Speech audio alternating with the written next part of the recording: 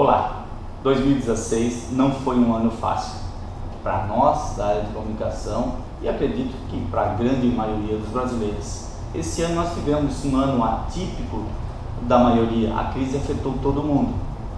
É, diferente de alguns anos atrás, que é, a crise ela era isolada quando é, você tinha numa área específica, na outra compensava que o negócio estava bom, então dava um equilíbrio.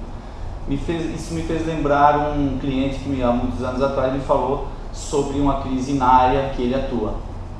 Eu comentei com ele que estava, perguntei se estava difícil, ele me disse, Romeu, isso é necessário. De tempos em tempos precisa se passar uma peneira e só os fortes sobreviverão. E eu me preparei para isso.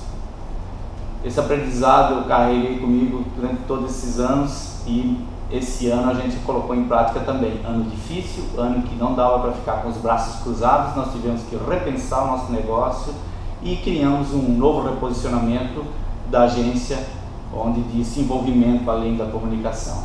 A gente mergulha mais fundo de verdade no cliente é, e com isso nós conseguimos trazer mais resultado para ele. Com certeza, pensando dessa maneira, a gente vai fazer um 2017 melhor do que foi 2016 e, consequentemente, 2018, 2019. Quero aproveitar para desejar um abençoado Natal para todos e suas famílias e que 2017 seja um ano de muita paz, muito trabalho sim, mas paz e um Brasil mais honesto. Obrigado.